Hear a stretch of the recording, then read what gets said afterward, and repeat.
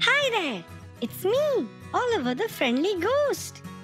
Today I'm going to tell you more about nouns. There are two type of nouns, common nouns and proper nouns.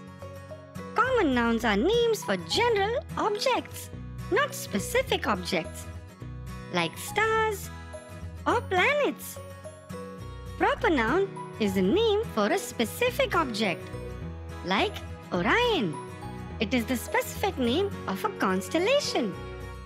The first letter of a proper noun is always written in capital letters. This helps us find the proper noun in a sentence. There are eight planets in the solar system. Humans live on Earth. Earth is one of its kind. This quality makes Earth a proper noun. So we can say that anything unique is also a proper noun.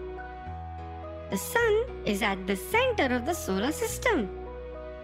There's only one sun in our solar system. So the sun and earth are proper nouns. They are the names of specific objects. The stars and the planets revolve around the sun.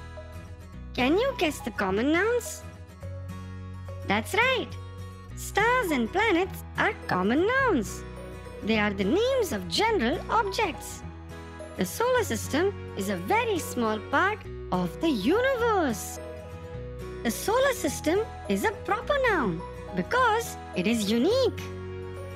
We learned so much about the sun, the stars, and the planets today.